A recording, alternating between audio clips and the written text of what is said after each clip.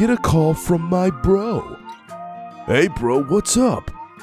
Dude, you won't believe it, but I just donated a thousand dollars to my favorite Twitch streamer.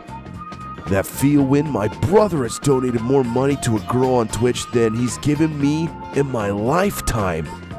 Uh, why did you do that? Because she's really good at the game and she's hot as F, bro. Buck my head. Bro, you know you could have used that money for something else, right? Like what? I don't know. Maybe save it for a rainy day.